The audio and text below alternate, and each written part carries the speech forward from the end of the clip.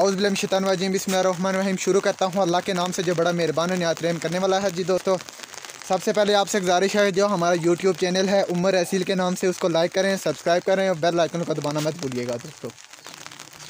और दोस्तों, आज अल्लाह के फजल से हमारे इलाके में बारिश भी हो रही है और साथ सामने वाले इलाकों में जो है बर्फ़बारी हो रही है। जी दोस्तों तो सबसे पहले तो मैं आपको अपने छोटे बच्चों का शो करवाता हूँ। जी दोस्तों, बच्चे जो हैं माशाल्लाह जी, मेरे ये छोटे बच्चे हैं, माशाल्लाह ये मुर्गी उस दिन लड़ गई थी, हमारी ये मुर्गियाँ लड़ गई थी आपस में।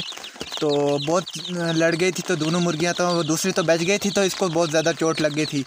तो माशाल्लाह ये जो पट्ठे हैं जी, माशाल्लाह ये मेरे आमरोए में आमरोए वाले और लासानी मुर्गी इनके साथ मैंने लगाई हुई है।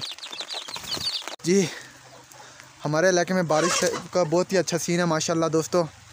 तो साथ में वो पार रहे, इलाका, जो जो सामने पा, पार है ना, इलाका, दातोट वगैरह का इलाका उधर दोस्तों अभी बर्फ़ लगना शुरू हो गई है।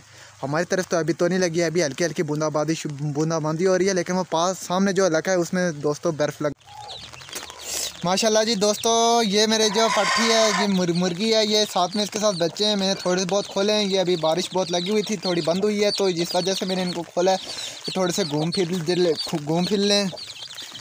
तो जी दोस्तों, देख सकते हैं, माशाल्लाह बड़े हो रहे हैं थोड़ा थोड़ा करके। तो ये उस दिन ये हमारी ये मुर्गी आपस में लड़ गई थी, ये और मुश्की मादी, लासनी और मुश्की मादी आपस में लड़ गई थी, जिस वजह से मेरी ये इस मादी को थोड़ी सी चोट लग गई थी, बहुत मामूली सी तो ऊपर से पर वगैरह उतर गए थे।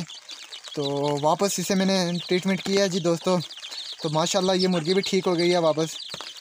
तो देख सकते हैं कि हमारे पट्टू को हल्की हल्की भी बारिश भी लगी हुई है उनको मैं थोड़ा सा उनकी मैं सैर शेयर करवा लूँ।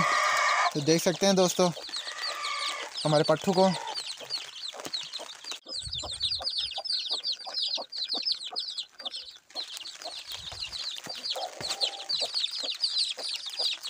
वापस डाल देते हैं इनको अंदर जी दोस्तों, ये बाहर बहुत सर्दी है तो वापस अंदर जाके गर्म रहेंगे।